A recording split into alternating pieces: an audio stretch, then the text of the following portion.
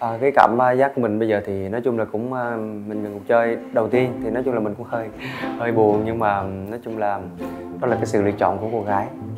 Điều chính đó là người đã từng có gia đình và từng trải qua à, mình nghĩ rất là nhiều biết sóng gió ở trong cuộc sống.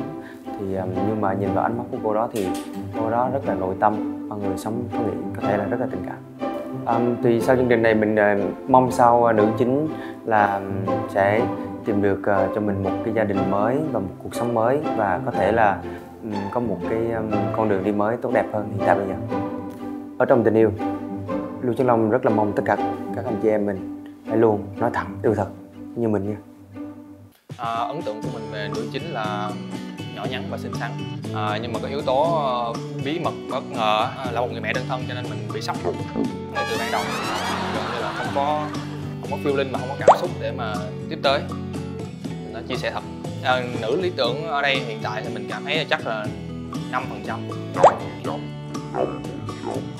Không phải nó thị thuộc mà chỉ có năm phần trăm của mình thôi. Tại vì cái sốc cái đầu tiên là người mẹ đơn thân là tại vì hiện tại mình cũng không phải là không phải nói tự cao tự đại nhưng mà mình hiện tại cũng là chủ doanh nghiệp là công danh sự nghiệp cũng đã có rồi. Thì mình hoàn toàn có thể lựa chọn những người phụ nữ tốt à, uh, bt hay là gym mình cũng mối quan hệ rất là nhiều và còn chí là thân hình đẹp lý tưởng và còn đầy, đầy phơi phới. Đầy phơi phới đầy phơi phới. Không có bị vướng bận về vợ con và có thể là uh, thoải mái đi du lịch cùng với người yêu của mình đi bóc bốn phương trời. Tại sao lại có một cái gia đình và mình cảm thấy áp lực ngay từ ban đầu luôn? Mình không có cảm xúc được.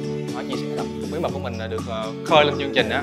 Uh, đưa lên showbiz á, thì mình nghĩ là sẽ uh, có những cô gái cảm thông và người ta nói mà nhân vô thập toàn.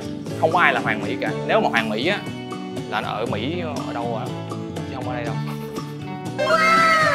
à, sau khi chương trình này mình đảm bảo là cái độ nổi tiếng mình tăng cao. À. nhờ chương trình này mình uh,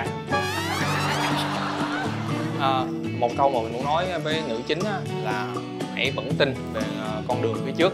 À, dù rất là trong gai nhưng mà hãy cảm thấy hạnh phúc. Cái anh uh, anh anh anh bảo đó sẽ là anh bảo đó luôn luôn là cảm nhận hạnh phúc từng phút từng giây. Cho nên uh, sẽ rất là thích hợp với bạn sẽ đi trên con đường dài. Trong tình yêu các bạn hãy nói thẳng yêu thật như quang minh nhé.